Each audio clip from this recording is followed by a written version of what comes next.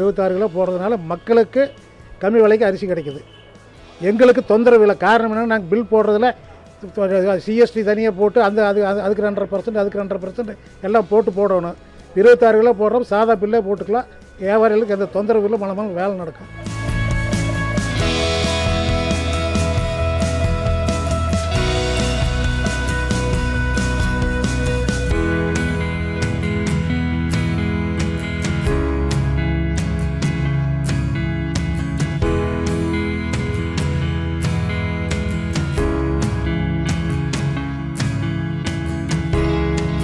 Subscribe to the Federal's YouTube page for more interesting updates.